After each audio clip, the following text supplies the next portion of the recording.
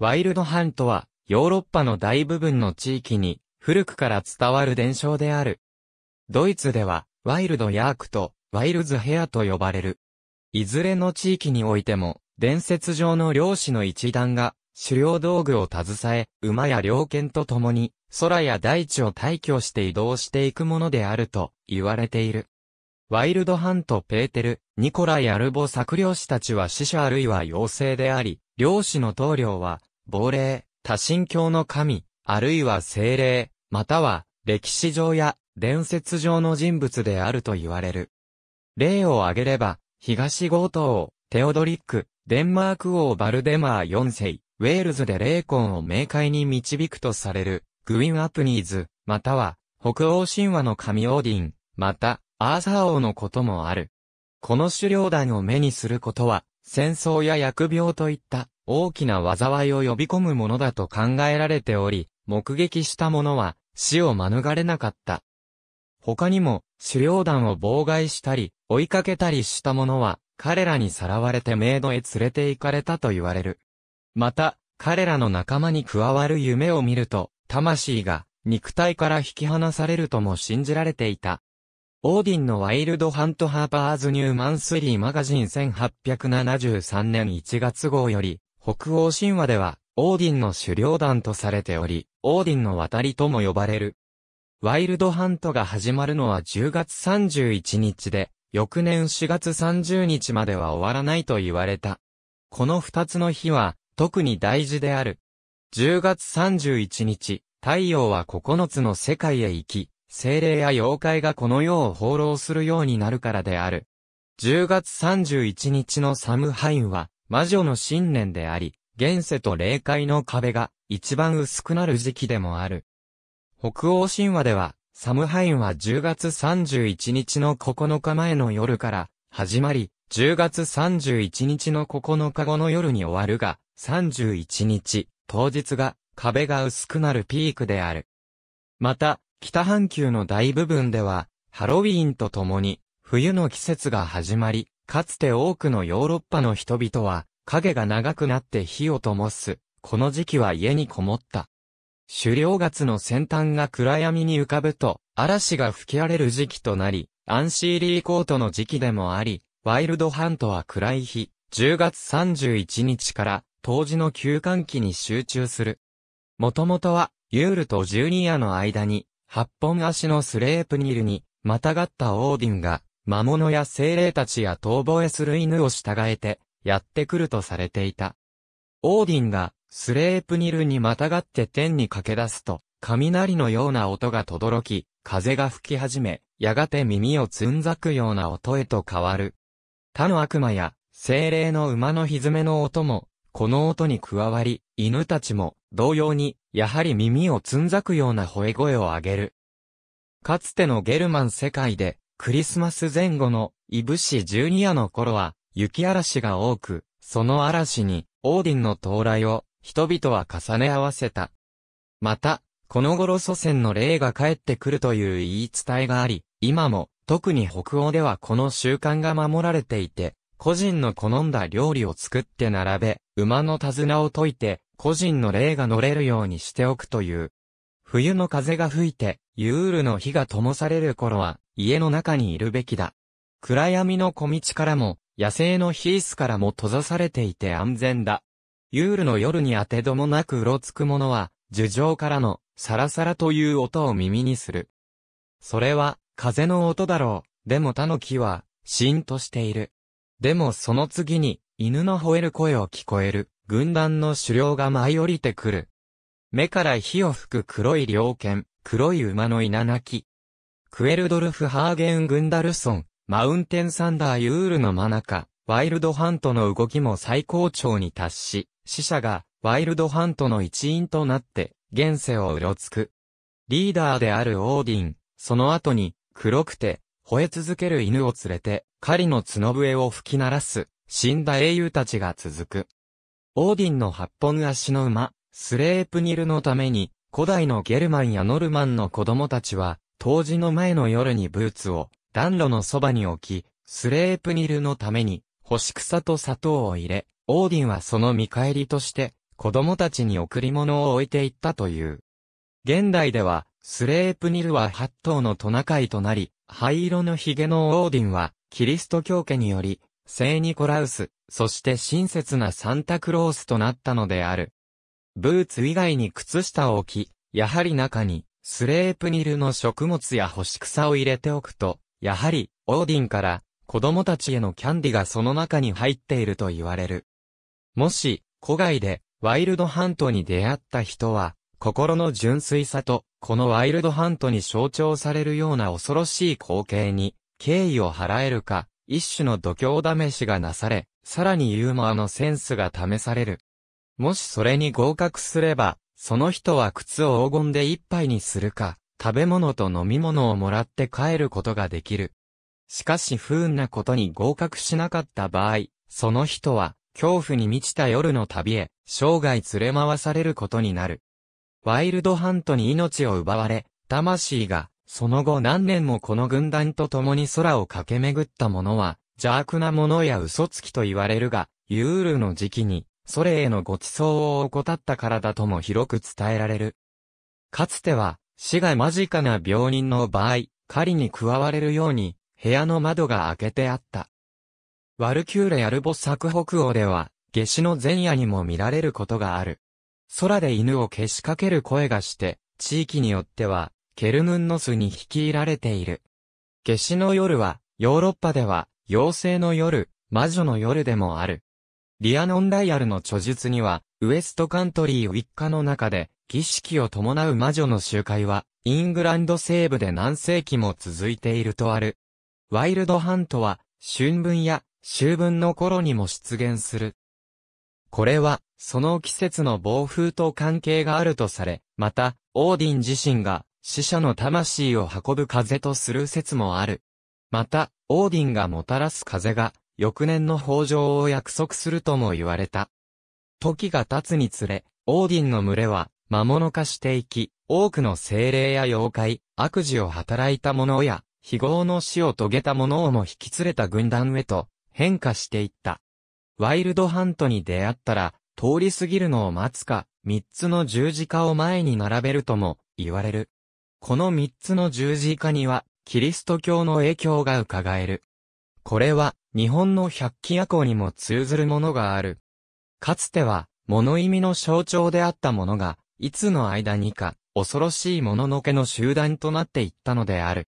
また別の地域では、聖ニコラウスの日に、オーディンをはじめとし、麦わらの妖精シャープ、様々な精霊や、化け物の格好をした人々の行列が練り歩く。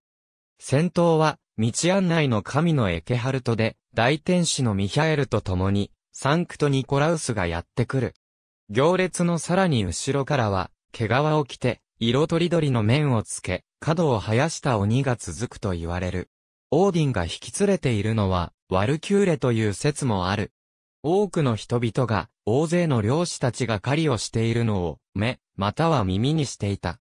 彼らは黒く、巨大で醜く、黒い馬、または、オスのヤギに乗っていた。彼らの連れていた犬は、漆黒で、皿のような耳をしていて、恐ろしかった。ピーターバラのディアパークの、生のその空に見えた。その町からスタンフォードまで、森伝いに、その光景が見えていた。その夜修道士たちは、彼らが笛を吹いているのを耳にした。デボンのウィストマンウッドの森サー・フランシス・ドレーク・ワイルドハントは、時を経るに従って、オーディン以外の神や民話の英雄が狩猟団の頭領となっていく。それは、アーサー王であったり、ダートムアの民間伝承では、サー・フランシス・ドレークであったりする。サマセットのキャドバリー城近くの古い道は、キングアーサーレインと呼ばれており、19世紀の時点でも、風の強い冬の夜は、アーサー王が犬を連れて、そこを疾駆するという話が信じられていた。英国のある場所では、この狩猟団は、宗教上の滞在を犯した者や、受戦していない者を追いかける地獄の猟犬であると言われている。デボンでは、イエス、または、ウィシュトハウンドと呼ばれ、コーンウォールでは、ダンドーと犬たち、または、デビルとダンディードッグと呼ばれる。ウェールズでは、クンアンウン、サマセットでは、ガブリエル・ラチェッツ、または、レチェッツ、デボンでは特に、ウィストマンウッドで見られ、ウィストハウンドという名もある。このガブリエル・ラチェッツ、または、ガブリエル・ハウンズとは、古い表現で、死体を意味する。セブンホイッスラーズと似通ったものがある。このセブンホイッスラーズの鳴き声は、天才の前兆とされた。古代ヨーロッパでは、犬は、守護神であり、亡霊を喰らうものだった。これは、狼も、同様だった。肉が骨と切り離されるまでは、魂は、来世で自由になれないと信じられており、犬たちは肉体を食らってその人を自由にするとされた。サウスウィックシャーでは、キリスト教が伝わる前の当時の祭りで、ワイルドハントと共に見られた、お化けのような猟犬の一団は、ナイトハウンズやヘルハウンズと呼ばれた。シャック、またはショックとも呼ばれた。これは、古代英語の悪魔が起源と思われる。北欧神話のバーサーカーと、狼は、いずれも、死を表し、古代英語での狼は、放浪者や、犯罪者のような、社会的に死んだ者と同義であり、彼らが、ワイルドハントの一員となっている理由とされる。ワイルドハントの後に、暖炉のそばに、小さな黒い犬がいたら、見つけた人が、その後一年世話をし、いたわらなければならない。きちんと世話をしないと、悲惨な結末が待ち受けている。また、夜に黒い犬を見るのは、間近な死の前兆とされた。イングランドで主に、ワイルドハントの狩猟と考えられるのは、イングランドオーディン、オーディンの一形態であるヘルラサクソンの富豪で、ノルマンに立てついたエドリック、アーサー王、サーフランシス・ドレーク、ダラム地方でイエス、または、ウィッシュハウンドなどである。ヘルラは頭に、おじかの頭蓋骨と角を飾り、体中から輪行を放って、冬の真夜中ウィンザーの森に現れる精霊で、不吉の前兆とされる。ウィリアム・シェイクスピアの、ウィンザーの陽気な女房たちには、このヘルラが登場する。ヘルラに関しての、12世紀のウォルターマップの次のような、文章もある。ヘルラ王の一族は、ヘンリー2世の治世の最初の年に、ウェールズとヘレフォードの境界地方で目撃された。昼間のことで、我々と同じように馬車に乗って、馬に荷物を乗せ、馬の荷蔵に2カゴ、高に猟犬、そして男女が集まっていた。この一行を最初に見た者は、国を挙げて、彼らを敵に回しラッパを吹いて、叫びを上げた。なぜなら彼らは、話しかけるための言葉をひねり出せない。武器を突きつけ、彼らに答えさせようとしたが、彼らは宙に浮かんですぐさま消えてしまった。ウェールズでは、グインアプニーズの他に、マリュティノスの伝承もある。マリュティノスは、かつては、不信心な貴婦人で、狩りが大好きで、天国に狩りがないのなら、行かない方がいいわと口にしてしまったため、死後はその望み通りになり、暴れ馬に乗って、アラウンと共に、泣きわめくような声を上げながら、クリスマスや大晦日に、アヌンウンの犬の亡霊を走らせるという。この犬は、ガブリエル・ラチェッツと同じ犬とも言われる。グインアプノーズは、ウェールズの5月祭に現れる。ペルヒタ時に、狩猟団が、ドラゴンや悪魔を連れているという話がある。漁師たちは馬、または馬車に乗っている場合が多く、何頭かの犬を引き連れている。特に若い女性は、罪があろうとなかろうと、彼らの獲物となる。この話の多くは、ワイルドハントに出くわして、難を逃れた人々によるもので、もし彼らの道を塞ぐようなことをすれば罰せられ、もし彼らの手助けをすれば、金や黄金、あるいは、かなり高い確率で、死者や死んだ動物の足が与えられる。この人間や動物たちは、呪われて逃れられなかった者たちである。この場合、その人は、聖職者や魔術師に頼んで、ワイルドハントを撃退してもらうか、塩をねだって足を取り戻させるように仕向ける。ワイルドハントは塩を渡すことができないからである。多くの場合、狩猟団が通過する間、道の中央より右側にいた人は安全だと言われる。ドイツでは、ボーダン、ベルヒトルト、ディートリッヒ・フォン・ベルン、ホルタ、ペルヒタ、ビルデヒャイト、ローデンシュタインとハンス・フォン・ハッケルベルクの従者、レージングホスト、または、フュリアスホスト、レッドベアードなどが狩猟とされている。ザクセンの神話では、オーディン、または、ボータンは、戦死した兵士をワルハラに連れて行き、蘇らせてから永遠ヘアルを編成した。毎日兵士たちは戦死し、夜に蘇って、主演を楽しんだ。ザクセンにはこういう伝説もある。ある王子が少年を切り裂いた。少年は柳の皮を剥いで笛を作った。王子は少年が木を傷つけたため罰を与えたのである。王子は少年の蝶を柳の周囲に巻きつけた。また、鹿を飼った濃度にも残酷な刑を課した。王子は狩りの途中、カバの木に激突して死に、永遠に狩りをすることになった。この王子の集団は、十字路では転落し、また広い通りを避ける。また、1123年、このザクセンのボルムスの司教管区の住民たちは、毎晩のように、大勢の武装した騎士たちが隊列を組んで山から降りて、来て、また山に引き返すのを目撃していた。彼らの前に十字架を押し合って、そのうちの一人に尋ねたところ、彼らは、実は皆死んでいるのだと答えた。この騎士たちは、戦死した者の魂だったのである。オーストリアの民族学者であるアレクサンダー・スラビクは、ワイルドハントが、来訪する死者、来訪する、亡くなった隣人への昔からの信仰を示唆する、と考えた。ワイルドハントを率いると言われる、ハンス・フォン・ハケルンベルクという人物は1521年、または1581年に没したと言われる。後世の民話では、ハケルンベルクはイノシシを殺したが、牙で足を負傷し、毒が回って死んだ。彼は、死んでから天国へ行くことは望まない、代わりに狩りをさせてくれるように望んだ。彼の願いは聞き届けられ、あるいは呪われ、夜空で狩りをすることになった。この話のもう一つ別の形として、生前の罪の罰として、軍団を率いるようになったというのもある。この話には、もっと昔のものではないかとも思われる。また、ハッケンベルクとは、単に、古代サクソン語で、ボーダンのあだ名であるハコルベランドがなまったものだとも、言われている。グリム兄弟は、怒れる軍団は、オーディンの軍に起源があるとしている。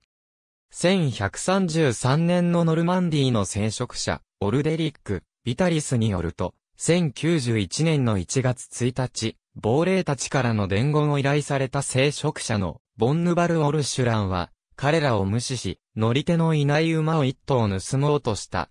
しかし赤く焼けた手綱と、盗みで彼を取り押さえた騎士の手で焼かれてしまう。ウォルシュランは、兄弟の取りなしで難を逃れたが、死んでからは、ワイルドハントに加わったという。パリ近くのフォンテーヌブローの森には、ルグラン・ベヌールがいて、森の中を、風が吹けば、ルグラン・ベヌールが現れたと言われる。ドイツに近いアルザスの住人であるジャンガイレ、カイゼルベールは、1516年に、ワイルドハントについて、次のように書いている。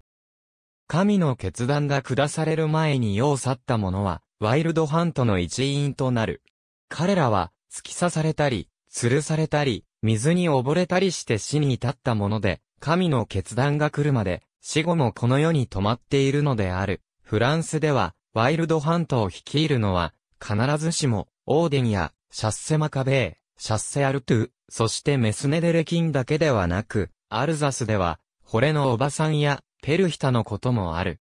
また、ワイルドハントが、大人にならないうちに死んだ子供たちの集団である場合もある。これは子供だけが見ることができるが、これを見た子供たちに危害は加えられず、ワイルドハントの一員として引き込まれることもない。むしろ、この集団を率いるホレおばさんは、子供たちに贈り物をくれ、これがアルザスのクリスマスイブに子供たちにプレゼントをくれる白いドレスの女性、クリストキントの発祥になったと言われている。20世紀の初め、アルザスには、当時の近くに仮面をつけて幽霊や動物に扮し、できるだけ大きな音を立てて歩く祭りがあった。彼らは村中を歩き、特にその年死者が出た家からは、なかなか離れようとしなかった。夜には、オーディンの戦場で蘇った戦士に扮したダンサーによる共演があり、その時に祭りの王が選ばれた。また、提督の狩猟というクリスマスの時期の恐怖話もある。フランス海軍提督で、サンジャンローヌ付近のフランソに領地を持つ、シャルニハク、フィリップ・ド・シャボは、非海神の狩人と呼ばれ、1541年、領地に近いジュラの付近に、狼がたくさん出るということで、クリスマスイブの礼拝をすっぽかして、狩猟に行こうとするが、夫人に促され、教会に出かけた。しかし、ミサの最中に、伯爵領に、狼が出たとの連絡が入り、そのまま、連絡に来た貴族と共に教会を出て行った。その後、教会の中に、フクロウが降りてきて、ろうそくの火が消えたり、雲が降りてきたりで、人々を不安に陥れる。その後、遠くで、狩猟の音が聞こえる中を、婦人や子供たち、召使いたちは城に戻るが、夜が明けて、狩猟の音が止んでも、提督は二度と戻らなかった。その後、この地域では、イブのミサが始まる頃、狩猟の音が聞こえるという。このシャルニー博、フィリップ・シャボは、ほぼ同時代に実在し、この話とは違った運命をたどる。オークニー諸島の中心都市、カークウォールオークニーにも、ワイルドハントの伝説が残っている。妖精やトロールが、時折、夜中に、白馬や雑草でできた馬に乗り、空を飛ぶと言われる。盗んだ目牛に乗っているとも言われる。ヨーロッパ中で、ワイルドハントは、いろんな時期に現れるが、ユールの時期が最も一般的だと言われる。この時期は、超自然的な存在が現世を訪れる時期で、特に死者の霊が家に帰るのを許される時期でもある。この考えが、ワイルドハントは、死者の集まりということになり、オークニーでもそれが当てはまる。オークニーのトロールは、もともとは精霊、あるいは幽霊と考えられていた。そして、ユールや、ハロウィンや大晦日に、悪さをするのである。北欧では、オーディンのワイルドハントは、耳にはしても、滅多に見られない。典型的なものとしては、オーディンの2頭の犬が、1頭は騒がしく、1頭は弱々しく吠えるということである。この吠える声は、誰にでも聞き分けられる。多くの地域では、この声が聞こえると、天候が変わると言われているが、戦争や社会不安の前兆の場合もある。いくつかの報告によると、静かな森で犬が鼻を鳴らす音と吠える声だけが聞こえたという。スウェーデンでは、特に、イエータランドに、この伝承が広まっている。ここは、古くからオーディン信仰があった地域でもある。民間伝承のオーディンは、神話で見せる姿とは違い、外部からの影響が大きいのは特筆すべきことである。キリスト教以前の時代から今に至るまで、オーディン信仰は、人々の信心に強い影響を与えている。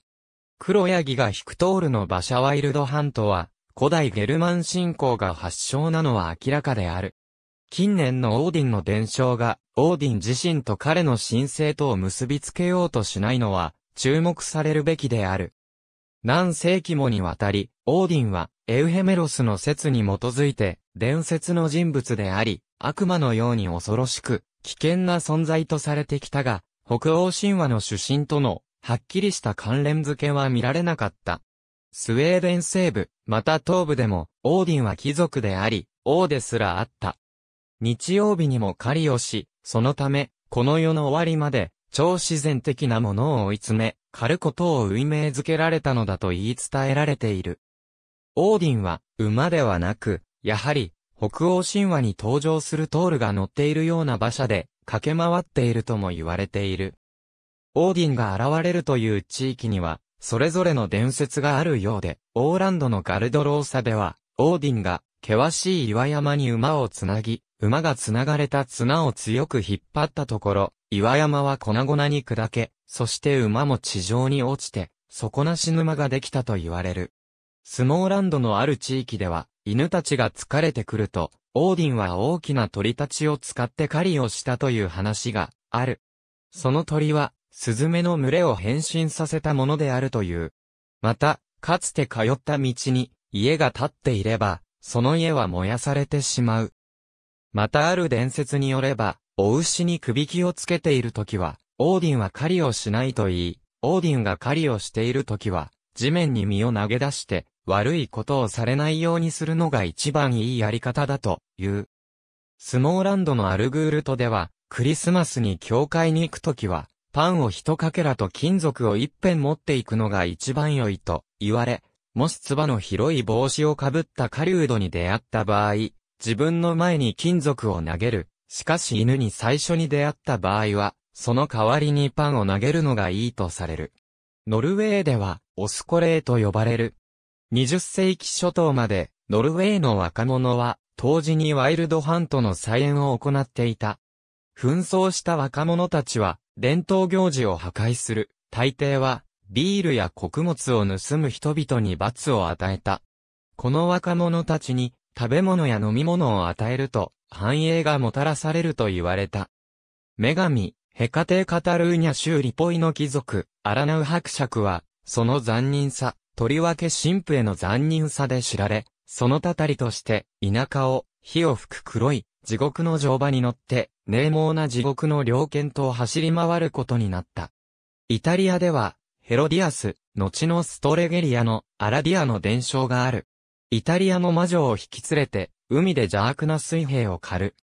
ギリシャ神話のヘカテーは、月の出ない夜に、遠吠えをする不気味な犬の一団を連れて放浪する。